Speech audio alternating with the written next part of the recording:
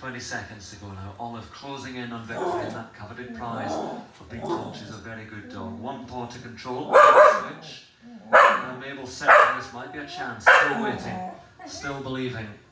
And you wonder what Olive is doing here. Only has to hold on. Going to the upright though. High tariff. Opposable thumbs. High risk at this stage. And it's gone and Mabel takes it. No mercy from the younger dog, who takes this victory just as time runs out. A famous win built on patience and sheer belief.